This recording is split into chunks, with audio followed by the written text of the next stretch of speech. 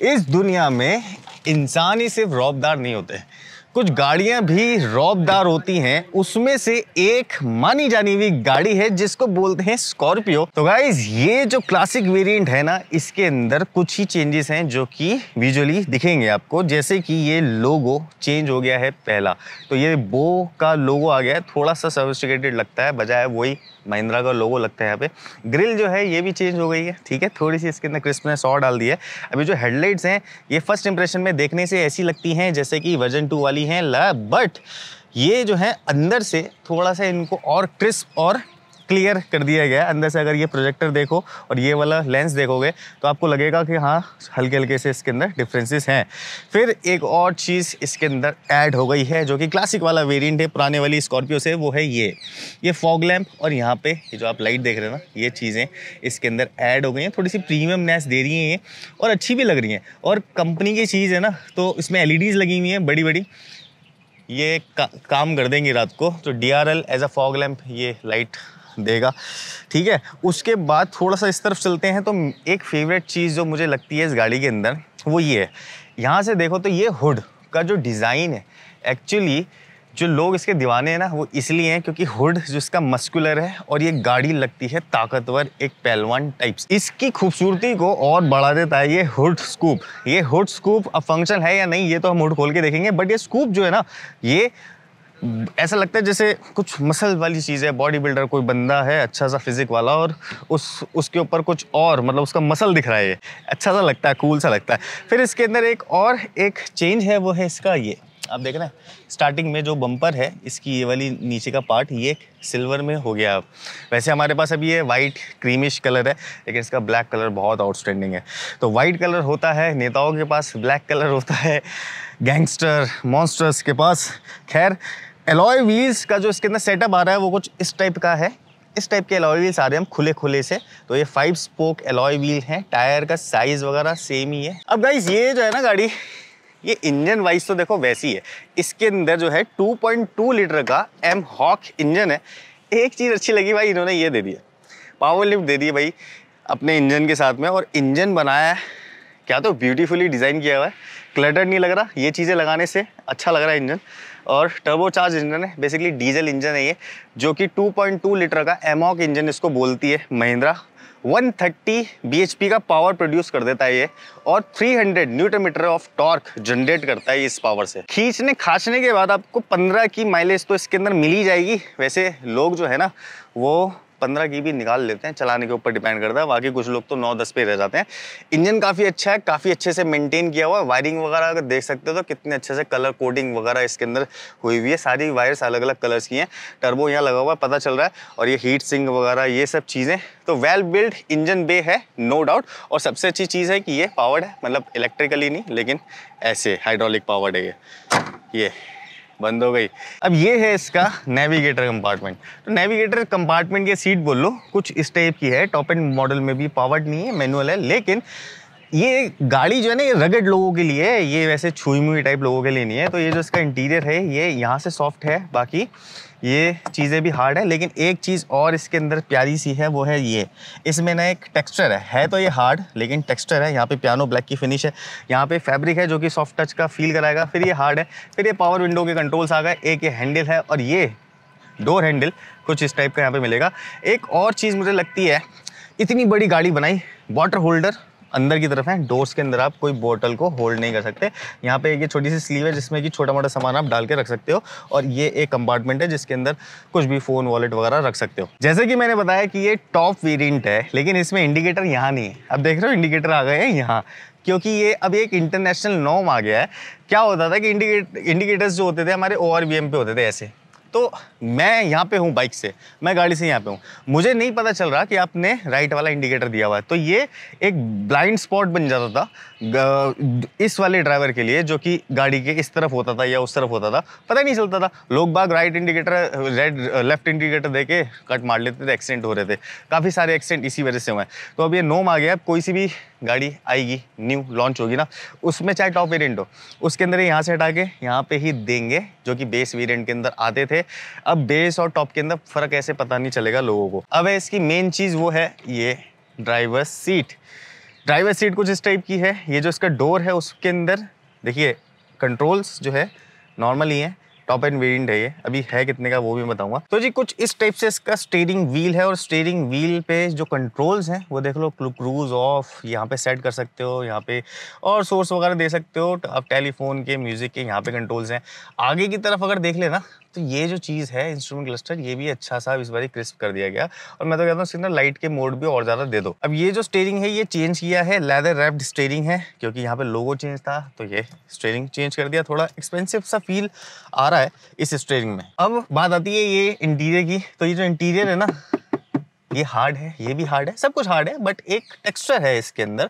देखो, ये है इसके एसी इवेंट्स काफ़ी अच्छे से लग रहे हैं प्रोमिनेंट और वहाँ पे स्कॉर्पियो लिखा हुआ ना, वो बहुत कूल चीज़ लग रही है। मैं इसको खोलता हूँ ग्लब बॉक्स को तो ग्लब बॉक्स के अंदर भी डिसेंट स्पेस है। अब इसका स्टार्टिंग सीक्वेंस देख लेते हैं तो स्टार्टिंग सीक्वेंस कुछ ऐसा है इग्निशन ऑन किया था कुछ, ऐसे करके हाया भूसा की तरह, ये दोनों सुइयाँ चेंज होंगी मतलब आगे पीछे होंगी, ऊपर से नीचे तक होंगी एंड तक जाएँगी मतलब फिर जब इसको स्टार्ट करते हैं तो थ्री टू वन स्टार्ट तो कुछ ये वाला फील है इसका वाइब्रेशन हल्की सी हैं, जो कि एक डीजल इंजन की पहचान है, साउंड है उसके अंदर, वो वाला थम्प है। सीरियसली स्कॉर्पियो वाली जान है इसके अंदर, मज़ा आ गया देख के मुझे। इसके O R V Ms control करने के लिए यहाँ पे फीचर है, बाकी लाइट एडजस्टमेंट करने के लिए फ्यूल लेट वगैरह, ये सारी चीज़ें खोलने के लिए यहाँ पे आपको फीचर मिलेंगे। अब एक और जो चीज़ मुझे बहुत ज़्यादा प्यारी लगी, वो ये है इसका इंफोटेनमेंट सिस्टम तो इंफोटेनमेंट इस वक्त ये नाइन इंचिस की एंड्रॉयड स्क्रीन लगा दी है। तो कुछ इस टाइप से मैं इसको होम दबाऊँगा तो कुछ इस टाइप से ये काम करेगी। तो इसमें वैसे तो ये स्क्रीन हम आफ्टर मार्केट भी काफ़ी बारी देख चुके हैं बट इसके अंदर ये महिंद्रा का पहचान है, यहाँ पे आपकी गाड़ी दिख जाती है कि आपकी कौन सी गाड़ी है। और बाकी ये ऑटोमेटिक क्लाइमेट कंट्रोल है मैनुअल इसके अंदर ट्रांसमिशन है, वैसे ये जैसे कि था, बस यहाँ पे ये हल्का सा देखना ये छोटा मोटा सा चेंजेस ये सारी चीज़ें आपको एक्स्ट्रा मिल रही है इसके अंदर। यहाँ पे देखिए स्पेस देखिए कितना है, ये चीज़ भी है यहाँ पे, ठीक है, ये वायरलेस चार्जिंग का काम कर सकती है वैसे, अगर इसको चेक किया जाए तो वायरलेस चार्जिंग तो इसके अंदर नहीं है। यहाँ पे छोटी सी पॉकेट है, यहाँ पे भी छोटी सी पॉकेट है। ये फिर इसकी हैंड ब्रेक हो गई। और पीछे अगर देखते हैं ना तो ये रेयर एसी वेंट्स है, यहाँ पे एक छोटी सी पॉकेट है।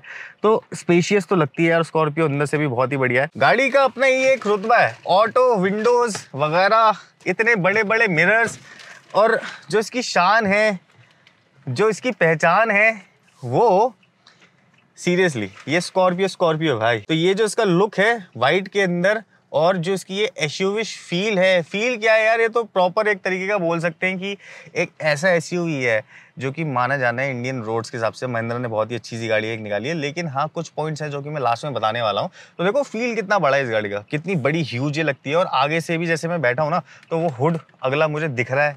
और मैं रोड से इतनी ऊपर बैठा हुआ हूँ, ये भी एक अलग ही फील है। और इस पुरानी वाली स्कॉर्पियो में जो एक पुराना वाला जो एक धागड़पन है ना लुक जो है, देखो रेड देखो इसकी, इसके पीछे से देखो, क्या लगती है यार पीछे से। आउटस्टैंडिंग लगती है, बहुत ही खूबसूरत और मज़ा आ जाता है। इस गाड़ी को देखने में या फिर चलाने में तो ये एक छोटा सा ही एक्सपीरियंस है, वैसे इस कार का, किसी दिन चलेंगे हम इसकी टेस्ट राइड पे। लेकिन मैं कुछ बता दूँ, जो कि चीज़ें इंप्रूव करनी चाहिए, वैसे वो महिंद्रा के जो ऑनर्स हैं, इस कैटेगरी के, उनको शायद ये जो फिट फिनिश वाला जो इश्यूज़ है ना, जैसे कि ये तो ये वाले जो इश्यूज़ अगर सॉल्व हो जाए तो और ज़्यादा मज़ा आ जाए। बाकी इसमें जो रेयर सीट है, वो देखिए, क्या बात है भाई सेवन सीटर कार है ये आउटस्टैंडिंग इतनी बड़ी रेयर सीट उसमें अगर मैं उस तरफ़ से जाके दिखा दूँ ना तो इसमें सात लोग इजीली बैठ सकते हैं। कोई मनाही नहीं है इसमें बैठने में, या फिर कुछ घुस घुस के नहीं बैठोगे। वो क्यों? क्योंकि ये एक सोफ़ा सीट है। थोड़े पास से दिखाओ। ये सोफ़ा सीट है स्प्लिट सीट नहीं है। सोफ़ा सीट क्या होती है? बिल्कुल एक सार है। आप एक बंदा बैठो, दो बंदे बैठो, तीन बंदे बैठो, चार भी बंदे बैठ सकते हैं इसमें। फिर यहाँ पे अगर आ जाते हैं तो यहाँ पे आर्म रेस्ट है, ठीक है? कप होल्डर वगैरह चीज़ें जो इन्होंने देने की कोशिश की नहीं, या फिर पता नहीं क्या सीन है बट आर्म रेस्ट है यहाँ पे। छोटी सी स्टोरेज यहाँ पे लेकिन हाँ ये है कि बॉटल होल्डर के लिए आपके डोर्स के अंदर दो चीज़ें दे रखी हैं। मोबाइल होल्ड कर लो, एक तो ये छोटे से होल्डर से, और रेयर वाला जो, नीचे वाला जो है, उसमें आप बॉटल या फिर ग्लास होल्ड कर सकते हो। अब चलते हैं इसकी बूट ओपन करने के लिए। तो वैसे मैं बताऊँ, काफ़ी रूमी और काफ़ी बड़ी सी गाड़ी है। पीछे से गाड़ी का जो लुक है, वो लगता था सीरियसली वीआईपी या फिर इसको अगर ब्लैक कलर में मॉडिफाई कर दो तो लगता था कि ये किसी डॉन की या फिर किसी बहुत ही खतरनाक बंदे की गाड़ी है। तो यहाँ से ये डोर खुल जाता है। अच्छा एक और चीज़ मुझे एक बार पता नहीं है। ये जो डोर हाँ अच्छा फील है। जो डोर खुलता है, इसमें यहाँ देखिए, ज़्यादा कुछ फिनिशिंग वैसे है नहीं, लेकिन ये सॉफ्ट है। यहाँ पे ये स्पीकर्स हैं, ठीक है? और एक यहाँ पे ये सपोर्ट दे रखी है खोलने के लिए, अगर किसी का हाथ ऐसे लग जाए या हाथ ऐसे लग जाए। तो अगर पीछे लोगों को बैठना है तो कुछ इस टाइप का ये सीट आप खोल सकते हैं। ईजिली बैठ सकते हैं वैसे यहाँ पे, ऐसा कुछ भी नहीं है कि बड़े लोग नहीं बैठ सकते। जैसे कि अगर मेरे को बैठ के जाना हो पीछे तो मैं अगर बैठता हूँ इसमें तो मैं ऐसे बैठ के जा सकता हूँ, पीछे फैमिली के साथ इंजॉय कर सकता हूँ। यहाँ पे सारे लोग होंगे बट ये है कि आप अपने सामने कोई अपनी हाइट का बंदा मत बिठाओ, क्योंकि आपको पैर खोलने के लिए, सामान रखने के लिए जगह चाहिए होगी इसके अंदर। या तो कोई बच्चा बैठ सकता है पीछे तो फिर सक्सेसफुल आइटम है। लेकिन आप देख रहे हैं, मैं बैठा हूँ इस गाड़ी में।